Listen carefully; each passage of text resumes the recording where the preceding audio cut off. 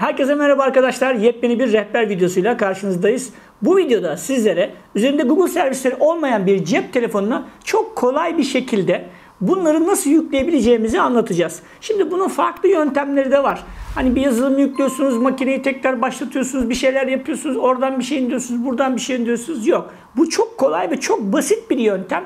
Ve eğer elinizdeki telefonunuzda işte YouTube'un kendisi orijinali yoksa ya da Gmail'in orijinali yoksa ya da istediğiniz herhangi bir e, Play Store'da olan bir uygulama olup da onu bulamadıysanız nasıl yükleyeceğinizi düşünüyorsanız eğer bunun için bu işlemi yapmanız gerekiyor. Şimdi yapacağınız şey şu. Huawei App Gallery'e giriyorsunuz ve buraya G Space yazıyorsunuz. G Space yazıyoruz. Şimdi yazdık G Space ve karşımıza bir tane hemen yukarıda çıktı zaten. Aç diyoruz. Şimdi bu yazılım ücretli bir yazılım olduğu için başlangıçta bir reklam gösteriyor. Eğer reklamı kaldırmak istiyorsanız bir para ödemeniz gerekiyor. Bu reklamı görmek istemiyorsanız. Yani her açılışta veya her uygulamayı açarken sizden bir reklam gösteriyor. Bunu kaldırmak da e, isterseniz para vermeniz gerekiyor. Bunun dışında uygulamanın kendisi ücretsiz ama reklamları görmek istemiyorsanız para vermeniz gerekiyor. Şimdi burada mesela ilk açılışta ben YouTube Studio yüklemiştim. Mesela buna normalde bir e, Huawei P40 Pro var bende ve burada onu yükleyemiyorsunuz arkadaşlar. Onu yükledim. Keep var mesela bende. Keep'i yüklemiştim. Bunun dışında Spotify yükledim. Aynı zamanda YouTube'un kendisinde yükledim mesela ve Google kendisinde yüklü. Google'ın kendisini yüklerken size e, G-Space açılırken ilk seferinde size bir e, Gmail hesabı soruyor haliyle ve doğal olarak. Bunu girmeniz gerekiyor. Bu Gmail hesabını girdikten sonra zaten işte bütün diğer uygulamaları da yükleyip kullanmaya başlıyorsunuz. Mesela YouTube Studio'yu açıyorum. Mesela normalde kapalı olan YouTube Studio bakın yine reklam çıkıyor tabii ki. Reklamımızı geçiyoruz ve geçtik. İşte şu anda YouTube Studio açılmış oluyor. Ve normal YouTube Studio'dan da hiçbir farkı yok arkadaşlar. Normalde kullandığınız gibi aynen sanki üzerinde Google servisleri olan bir telefonu kullanıyormuşçasına YouTube'un bu şeyini kullanabiliyorsunuz. İşte diğer özelliklerini kullanabiliyorsunuz. Bunun dışında şöyle bir geri çıkmış olalım. Mesela Gmail'i kullanmak istiyorsunuz. Gmail'de yine bir reklam çıkıyor. Reklamı da işte 4 saniye sonra geçmeniz gerekiyor. Her uygulamayı açtığınızda ne yazık ki böyle bir reklam çıkıyor arkadaşlar. Burada işte birinci klasörünüz boş diyor.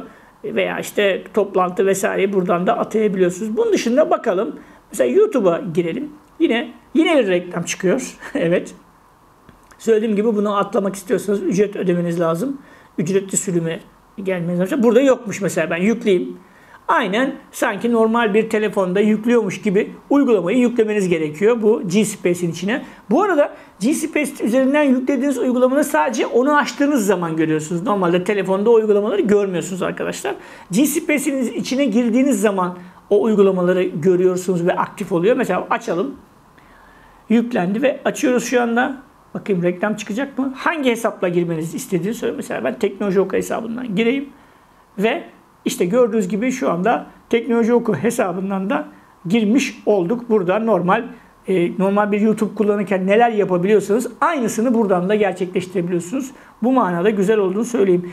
Ve bu uygulamayı bu şekilde kullanabiliyorsunuz arkadaşlar. Farklı farklı e, uygulamalar varsa eğer hani ben mutlaka ve mutlaka Google'ın şu uygulamasını kullanmak istiyorum. Mutlaka ve mutlaka Google'ın bu uygulamasını kullanmak istiyorum ve bunu doğal yollardan yapmak istiyorum diyorsanız önerebileceğimiz bir çözüm yükleyin. Huawei telefonunuz var ve üzerinde Google servisleri yoksa alın kullanın. Gayet başarılı bir şekilde kullanmış oluyorsunuz. Hatta varsa da kullanabilirsiniz. Neden? Diyelim iki hesabınız, üç hesabınız var. Onun birbirine karışmasını istemiyorsunuz. Oradan da mesela böyle bir yöntemle orada bazı şeyleri kullanabilirsiniz. Bunun da altını çizmiş olayım. Anlatması benden, deneyimlemesi, uygulaması, çalıştırması tamamen sizden arkadaşlar. Bu videoda sizlere arkadaşlar Huawei cep telefonlarında olmayan Google servislerini nasıl yükleyebileceğinizi anlatmaya çalıştık. Söylediğim gibi ücretini öderseniz reklamsız olarak da kullanabileceğiniz ama normalde ücretsiz olan bir uygulama G-Space.